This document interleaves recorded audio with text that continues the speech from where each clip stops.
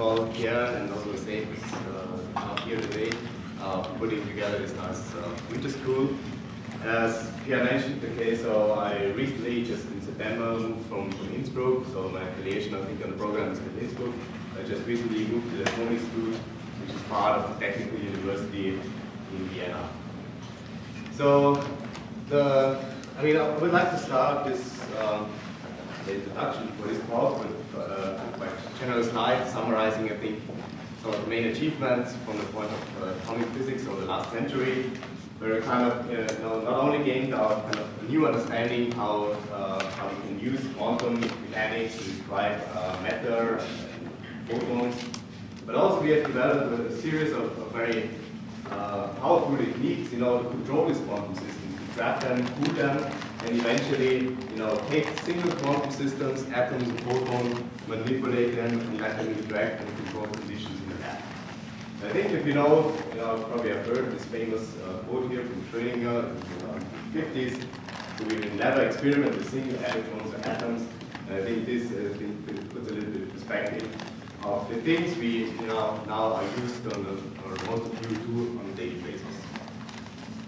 So I mean, this is a, a big, uh, you know, scientific achievement, but also, uh, you know, by now we know that, um, I mean, pursuing this direction and getting better and better, you might eventually up, uh, end up with, you know, completely new applications.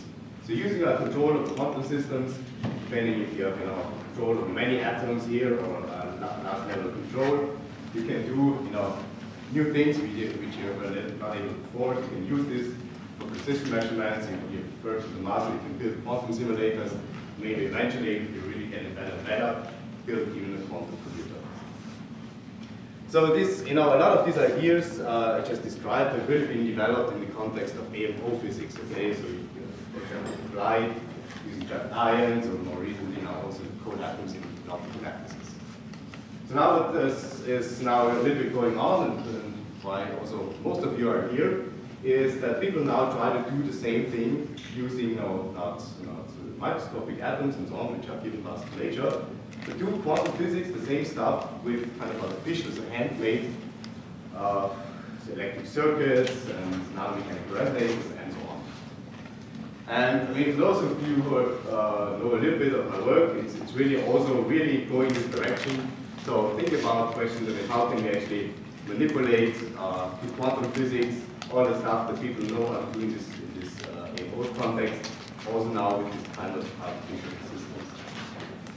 So the topic of today's talk, however, is uh, is uh, so initially I planned to talk a little bit about mechanical, or mainly focus on non-mechanical systems.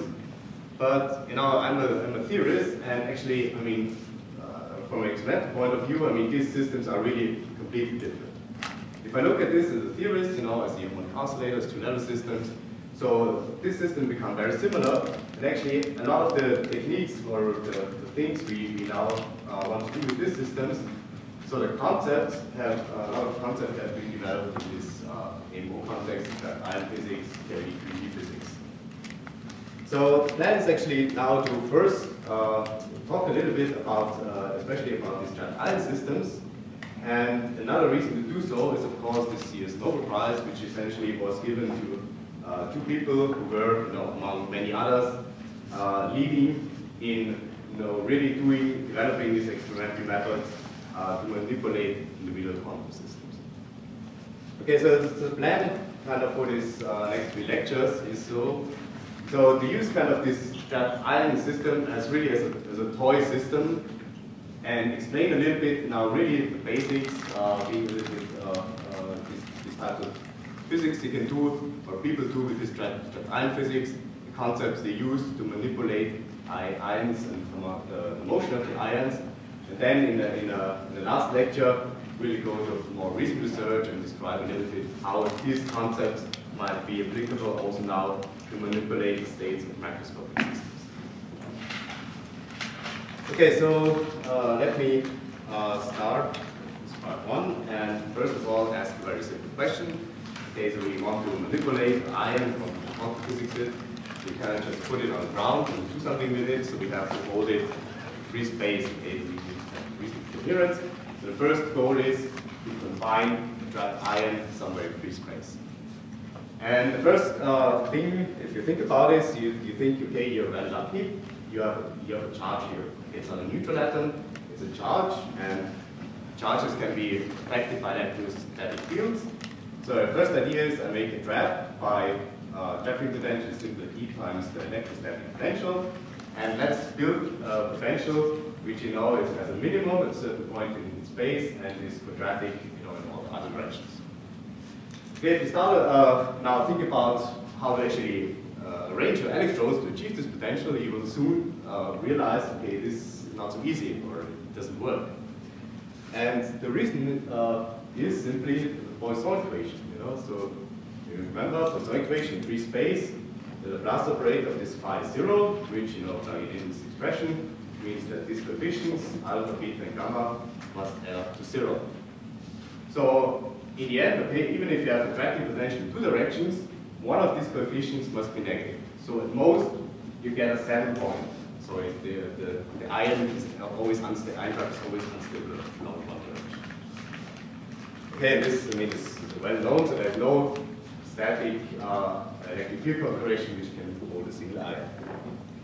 Many people, of course, have realized this, uh, this long, uh, long while ago and have thought about solutions.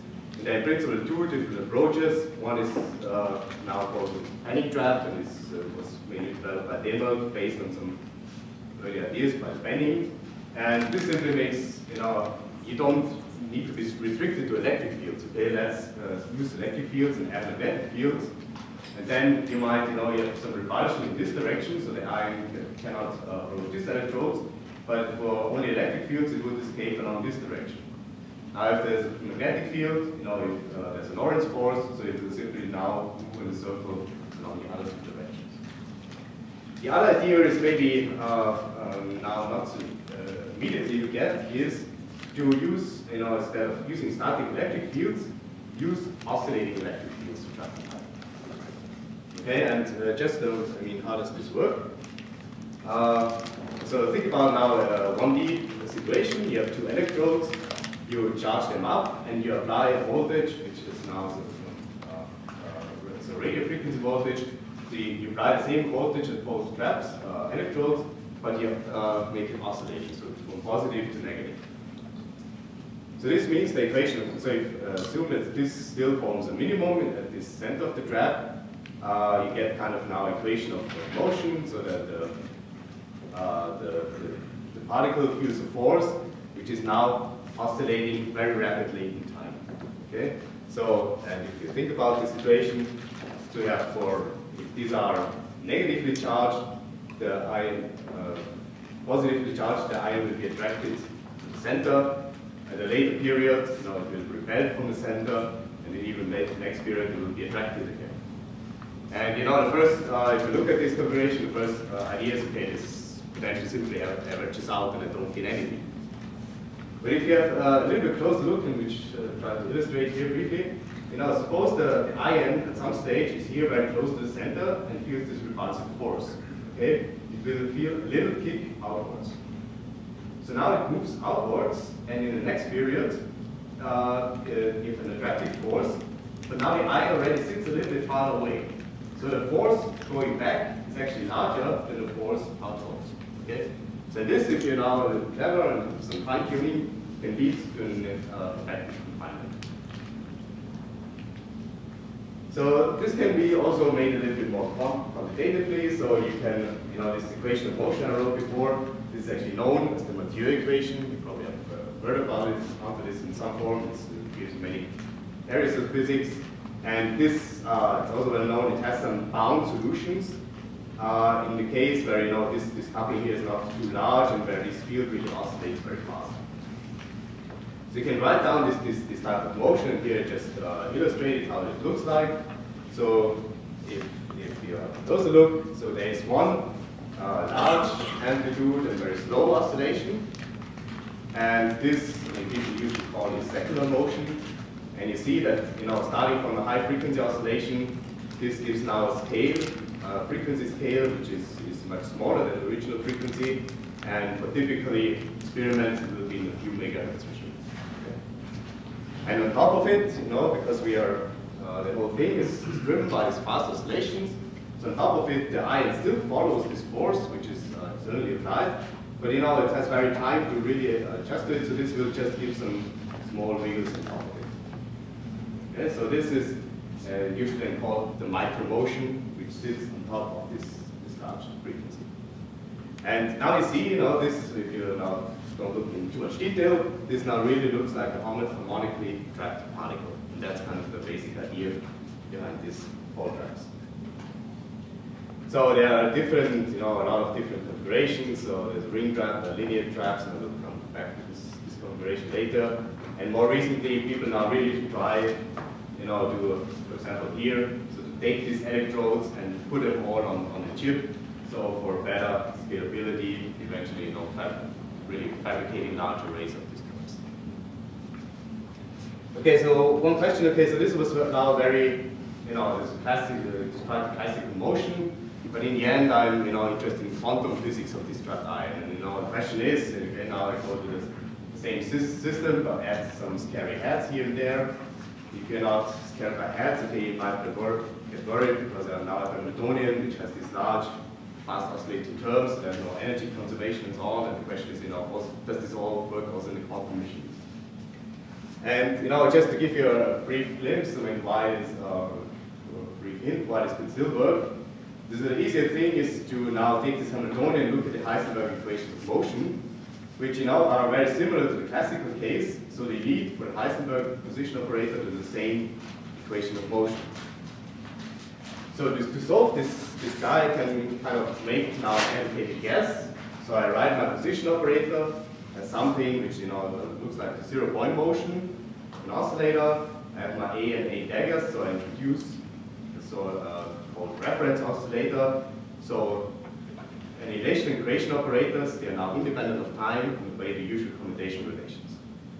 And then I have, of course, some, some time dependence, and if I plug this ansatz back into this equation, I find that this is a solution if this u and u, u star obey the classical, uh, so the classical Mathieu equation.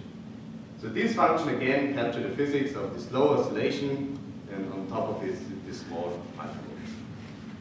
So now, I mean, ha having this type of description, you can say, I mean, I take now this oscillator, like in, you know, doing quantum physics one, you can, having this uh, relation operator operation, you can define ground states by this relation, you can construct number states by, you know, uh, this usual formula, and you can define arbitrary superposition states, so as, as you're used to from harmonic oscillator.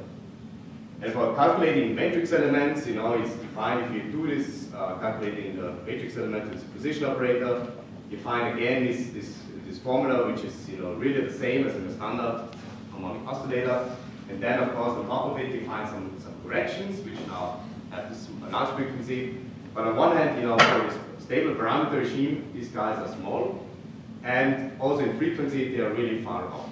Okay? So kind of the conclusion is now, um, so for everything I will uh, cover in these, lectures, and you know, for most, 99% of, or 95% of ion physics, you can really think about the dynamics, uh, also the quantum dynamics of this oscillator, of this ion, as a harmonic oscillator, which is now trapped in all three directions. If at some stage, you know, you might want to do some experiments with ions, or really want to work in detail on some theory proposals, you might keep in mind that there are corrections which become important if you have high frequencies, electric fields offset, or simply if the ion moves a lot, you know, then motion goes on. Okay, so given the fact that, okay, so let's let's believe for now that we this ion is really on the parabolic oscillator, uh, how can we manipulate it? And for this we use uh, laser fields, uh, optical systems.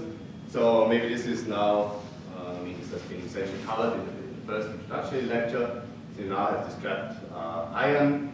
We, for now, assume that there are two internal states. We drive it with a near resonant laser. So this is the typical now interaction, so the position dipole moment coupled to the electric field. If you plug in the electric field of a running wave, for example, okay, we get this, this type of, uh, so here is the Rabi frequency, that's, that's usually defined, and then you know, times cosine omega t. And what you, I mean, often neglect in computer systems is that this, of course, now also depends on the position of the. Okay, and this will be. So just again to repeat these two steps because they appear now over and over in this lecture. Okay, so starting from this, this time-dependent Hamiltonian, what we do, we move the rotating frame. So essentially we have this laser frequency. The only interest in, in our case is how much the, the frequency of the uh, excited state differs from this laser frequency, which is described by this delta. Uh, we, okay, now we get all these time dependencies here, these operators. And as the second step, we do on time quantum optics assume, you know, there's a large frequency, our dynamics is very small, so we neglect everything that is fast rotating in this combination. So in this sense, uh, the essence of this whole thing is now restricted to a one-dimensional system. So this is kind of really the, the work, the Hamiltonian, the workhorse of our system, the harmonic oscillator. We have the excited state energy, so it's only uh, here the tuning that matters. And we have this uh, raising and lowering operators with the Rabi frequency, and they contain these position-dependent phase factors. Okay, so this, uh, I think after, especially after lecture, the lecture on Thursday, I think this should be clear. So uh, the important thing is uh, to realize so that this, you know, this Hamiltonian in its general form, I mean, it's still still complicated, even if it looks very very simple. And the thing that uh, allows us to do a lot of the nice stuff in, in, in these trapped ions is, is, is, kind of the following uh, observation, that if I'm, I cool my ion, you know, close to the ground state in the regime that we're interested in, the extent of this, the, the motion of the ion is about, uh, you know, a few times the ground state size. And this, for these large trapping uh, frequencies, is in the order of a few tens of nanometers. Yeah. Is this the motional ground state you're talking about? This is the motional ground state. So on the other hand, we have our laser lights, so the wavelength of this light, which is you know typically a few hundred nanometers. Okay, so in this sense, we can can see really. Um, so here we have uh, we can define the so-called Lamb-Dicke parameter. Okay, a very uh, important concept in quantum optics, which is simply the the rate. So here you see better the ratio of the ground, ground state extension over the uh, laser wavelength. Okay. And in trapped ion systems, this is usually much smaller than 1. So this means, okay, that the ion is always tightly confined compared to the extent of the wavelength. I mean, maybe another uh, alternative description of, or interpretation of this Lamb-Dicke parameter, so if I, you know, kind of uh, square this expression, so put in this A naught there, I can rearrange it and write it something like, you know, so, so this guy, so this is the uh, the photon, um, photon momentum squared over 2m. So this is kind of a recoil energy. So every time the, the, the ion emits a photon or absorbs a photon, this is the kind of energy it picks up from the photon recoil. And divided by now the trap level spacing. And again, having this very small means that you know the, the energy I get from a single photon absorption is actually small compared to my trap. So it has in principle little effect. So in the end, again, so this Lamb-Dicke limit is either the limit of strong confinement, or you can also, you know, kind of say a little, uh, you use it as it's actually uh, the limit of weak radiation action on the atom. And while you know, often you think about, okay, so radiation back action is something you want to use for cooling, for you know, do interesting stuff. Usually you want to have it high. It's actually kind of this weak, you know, weak, of course, uh, in, in this sense, this weak uh, back action regime that allows us to do a lot of stuff. So let us now, okay, again, take this Hamiltonian and replace this k times z here in an exponent. Now simplify this eta operator and a plus a dagger, so the position is simply uh, a plus a dagger. And again, in general, you know, you see that it, it, this a and a daggers are in the exponents. In principle, this is a Hamiltonian which contains all all powers of this A and A dagger, so in principle it's very complicated. But now in this Lamb-Dicke limit, and this is when this eta is small, or more precisely, you know, when it's occupied, okay, the whole motional extent of this wave function is smaller than one. I can expand this guy, and okay, so if I take the zeroth order, you know, this thing simply vanished, and I get my driven, driven two-level system. Okay, simple. If I expand the next order, I get my two-level system, times the position operator, and A dagger, and, and so on. So the okay, so the, the to visualize I mean what's going on in the system, it's always useful to to draw this, this type of level diagram. So you see this a lot in if you uh, look at trapped papers. So so here I just simply you know plot the the motional, so the atom in the ground state, and here the different motional levels. So spacing here is the uh, trapping frequency, and here is the excited state, and again different trap levels. So now these, these terms I just listed here, okay, so this is the zeroth order term, which you know doesn't involve any motion, so it will just couple two-level system. The next term, it involves motion and can either uh, annihilate, annihilate a quanta when the system is excited, or create a quanta when the system is excited. So this will now, starting here, for example, it will create transition to this state, or transitions to this state. So the ground and excited is an internal atom state? The ground and excited, yeah. Yeah, so these are the, the two level, the uh, ground electronic state, uh, excited electronic state. So this always is the laser, laser frequency. Okay. And in this direction is the different motional states. And again, so here, for example, you have a sigma plus, so you go up, and in the, in the same time you remove. So, and, and again, so you see there's different parts of eta, eta small, so this transition in general is, is, I mean, is smaller than, than this, uh, uh, this direct transition. And okay, higher order terms, in principle, they're always present, but they are now at eta squared, the higher parts of eta, so in this regime we can, to the most extent, neglect them.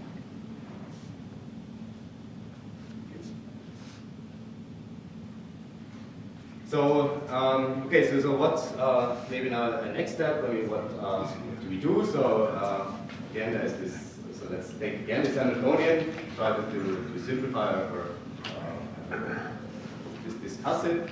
And in this case, this then, um, it's always uh, uh, convenient again to do kind of this, take this bare Hamiltonian, so just these energy levels, transform away, away these bare energy levels, so this is just the, uh, the relationship go in a rotating frame, this whole Hamiltonian, and look only, so in action pictures, in other words, look only at this type of interaction, which now, of course, picks up all this time dependence, so we are transforming away the mechanical frequency and the, the, the energy level. So this seeing plus operators, for example, pick up this, this oscillation phase with delta, and the A operators pick up this oscillation phase with trap. So again, this is uh, still complicated, but let's expand it in the Lamb-Dicke parameter. And now we get a series of terms, so you know, let's keep the zeroth order and the first order. And now all these terms, uh, of course, uh, due to these different combinations, uh, oscillate in time, but with different frequencies. Okay, and we have this first, this bare time term, which is simply the tuning. We have this uh, sigma plus operator with an annihilation operator, which is now the tuning plus omega t, and the other one is the tuning minus omega t. So the, the reasoning we now see is the same as you usually do with the rotating wave approximation. So we neglect fast oscillating terms. We assume that this guy in front, where there's a it, no, okay, okay, this guy in front is smaller than all these oscillation frequencies. But now, you know, instead of having just one frequency, we can actually, by tuning this delta, we can select which of these terms is resonant. Okay, so that's, that's uh, the way it is here. And now if I uh, look what's, uh, uh, what's going on, so let's, for example, set uh, delta equal to zero. So to really have a resonant laser with the GE transition.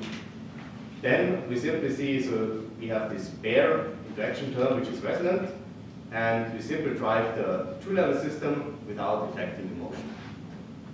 Okay, so this will just create the standard Rabi oscillation, the motional state doesn't play a role. So now let's go to the, the just to mention that this, I mean, if I drive such a laser transition, I usually, uh, people talk about the sort of carrier transition, okay, that's the term that's used in this graphite business. So I can now uh, uh, detune my laser, so I have the laser frequency slightly lower than, uh, than the, um, the, resonance condition, and I have lower by the, by the trap frequency. So now this, this transition where I remove a phonon, and know, as a lower energy than direct transition, becomes resonant. And in this case, in the so-called uh, red cycling regime, uh, using this red cycling transition, I maximize this interaction or make this resonant, this, this type of process resonant, and I gain just the usual Jaynes-Cummings bond. Okay? So with this I can use ion to simulate something like the atom in a cavity. But of course I can also do the other tunings, and now I go to the blue regime, so I have the frequency of the laser larger than, than the trapping frequency, and I get simply the anti-Jaynes Cummings column. Yeah. That's uh, in, in, the red side band transition, uh, why is it more likely from excited in level n to ground in level n then to go back to n plus 1 and excited in red side band? So I see uh, lower n, so, but uh, it doesn't seem like it's cooled unless it drops down to n. Yeah, so, so here I'm, I'm still talking, so there's no cooling involved, there's all coherent interactions, okay? Okay. So the, the, the system here is long-lived for, for these purposes, it's just made now oscillate forth and back. Okay. Okay, so these are the, these, these, these sort of the main processes we have available in the system. And of course I can, you know, have a laser field, so I can, you know, it's not something fixed, so I can, uh, you know, one time make this, this carrier transition, next time make, make this pulse. And of course I can also, you know, let's take two lasers, one tuned to the, the blue sideband, one to the red sideband, and I get a combination of these, these systems, okay? Okay, so this is uh, kind of the type of coherent interaction, and now coming to your question. Okay, what about dissipation? Okay, which I've mentioned so far. So dissipation, of course, in, in, in collateral systems comes very naturally in terms of spontaneous emission. So, so far I talked about driving this, this two-level system. Of course, once it's in excited state, then decay down and emit photons. So now, uh, I mean, making here kind of this analogy to this uh, quantum jump approach, which we heard in, in, the beginning. So, I mean, how to think about it. So, first, some, some wave function. Uh, once this photon is emitted, it undergoes a quantum jump. So, it will be, wave function will be projected on the ground state. But, you know, in, so, so here we have, let's say in solid state system, superconducting qubit, know, it will just go down.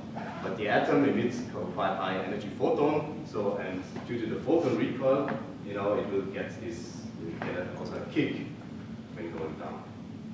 And this, of course, depends now on the direction the photon is emitted and so on. So we can, I mean, now uh, use a master equation to, to describe this, this, system. And uh, so if you're still kind of uh, familiar with, with master equations, so we have uh, we, the evolution of, of, the density matrix now evolves according to, you can write it in terms of a effective Hamiltonian so this simply means it evolves according to Hamiltonian, and if the, the system is in excited state, so this part of the excited state you know, decays, so this is an imaginary part, it's not unitary evolution, it simply decays. And then of course, I mean, the, whole system uh, wave function is a normalization code is simply zero. So you can think about this as eventually whenever there's photon emitted, you have this sort of recycling terms, so it, it decays and will be recollected in the ground state. And if I now insert, I mean, usually you just have here a sigma minus sigma plus, but including now this photon recoil, I now have also this, this you know, uh, whenever it goes, uh, simply goes, goes down, you feel this recoil. And okay, there's, you know, depending, for example, if I have dipole transition, there's a certain probability to be emitted in all directions, and this is now captured here in this, in this file n, and I have to average over all so simply this averaging of more directions. So, uh, I mean, I can, uh, for most purposes, I can actually make a small simplification. So I'm only interested in, in motion along one direction. So, uh, I mean, the photon is emitted in this direction. You know, the relevant recoil kick I, I get is just a projection on the z-axis. So I can simply rewrite now this, three-dimensional integral in something where I define u, so the cosine this angle, which appears here, and then I get a new emission pattern, but otherwise nothing. Changes. Okay, so this is just how likely is that the photon uh, get a photon recoil kick in this direction. Okay, so uh, now to get an interpretation what, what does this, this term now do in our system. So let's again go back to our parameter, uh, limit, and uh, rewrite these recycling terms now Dicke parameter. And again, let's uh, okay, assume this uh, uh, system is in excited state. Let's start to expand this expression.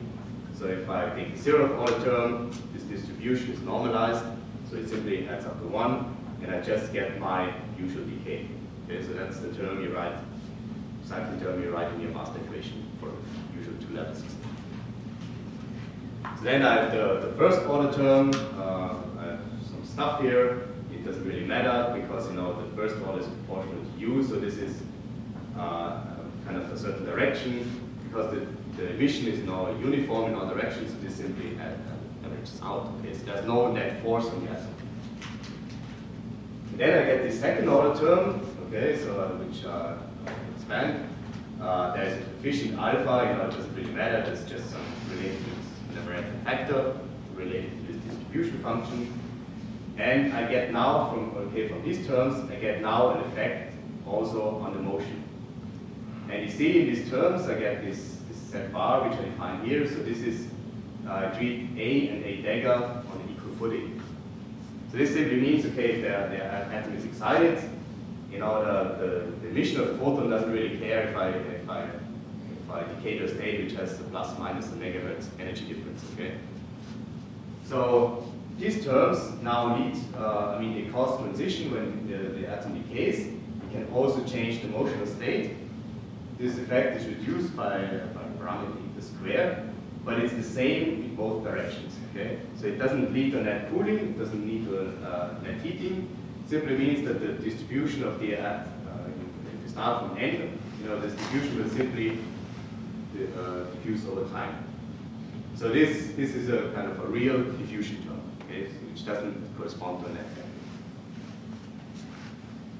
So this now kind of, um, kind of now in, in, the picture summarized, okay, the main processes in this IFAT once we include uh, diffusion, okay.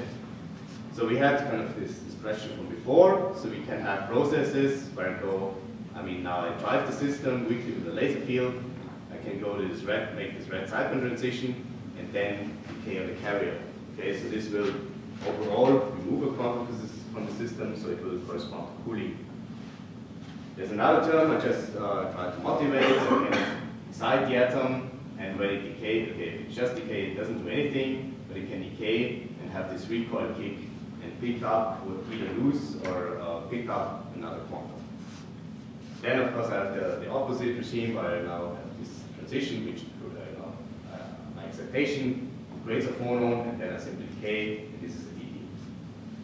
Okay, so these are the, the kind of processes that, that are relevant in this Dicke regime, when, I mean, of course, higher order processes, but they are very small. So you can do something, so I don't go into the derivation, but just to, um, to, to, summarize this, in case you can now do a rigorous derivation for you know, integrating out this excited state. So just do a description for the motional state, how it evolves. You get some effective master equation. If you remember, you know, from, so there are these terms which go like A, A and A dagger here. You remember from Monday, so this is something which, which overall leads to cooling which lowers the occupation number. The opposite term corresponds to heating. So you can uh, evaluate these terms, and again, you essentially see here are the Lorentzians, which now depend on delta and uh, this different um, process, so you have this inter interpretation. So if delta is minus omega, this cooling term is very high, while the other, while the, the heating term and the diffusion terms are suppressed. Okay, so that's description. And just, okay, again, to do everything here, just uh, uh, pictures. So then, of course, you recover, I mean, this was discussed now uh, a few times. Uh, depending now on the line width of your uh, state. So the line width is very large, much larger than the, the, the, the level splitting here, you know, all these individual trans transitions are essentially not resolved. They're all the same because the line is so broad. Okay, so there's still a small preference in going this direction or in this direction, but this is very small, and in the end you end up with a net cooling, but a final temperature which is still much larger than 1. So where gamma or omega t is still much larger than 1, and this corresponds to Doppler cooling. Doppler cooling can the ground state. Then of course there's the other regime where this upper line width is very narrow. So now, I mean, if I tune here on resonance, you know, it, this this uh, dissipation is very far suppressed. So you dominantly go in this direction, you dominantly do, do cooling. In this so-called cycling cooling regime, you can really go to very low. So the final perturbation number is this gamma over omega squared. So you can really go to lower. And now this also, you know, compared to current state of optomechanics, where you know it's happy to reach n a little bit smaller than one. So in real experiments, you know, this is really essentially zero up to the point where you can measure it. Okay, so this is really an efficient way to pair atoms in the state. Are there any questions at this stage, or was it just gone? So, so far, okay. So this so, is kind so of. why is it that they can cool ions to the ground state, but mechanical systems not yet? What, what is the key reason? Uh, key so yeah, so on one hand there is uh, okay. So here uh, and this I probably show in the next lecture. I mean, you can actually design your gammas. You can have very small line width. I mean, so this limit is essentially zero. And the other thing is simply that in optomechanical systems, you have heating from your thermal reservoir. Okay, and here there's no no other heating source involved. So it's the frequencies, really, right? The no, so the, the, the heating from the phonon bath. Right, but here, here, is- isn't it so that the frequency of these transitions are so, uh, so much higher than in mechanical systems? I don't know. No, so the optical the transition No, doesn't. the, the, the mechanical, the, Uh, I mean, this is also megahertz, so in this sense you don't, don't win. Now, but, so, so here, for example, the, the, I mean, in this, this simple description, the cooling rate doesn't matter, okay? Because I Right. don't have a reservoir I couple to. And in mechanics, you always have the cooling rate has to be much larger than the reheating from the re reservoir. And not, and not from, so here are just the intrinsic effect from this uh, imperfection of, of going to the blue side band. And this, in principle, can be very, very small, and in mechanics,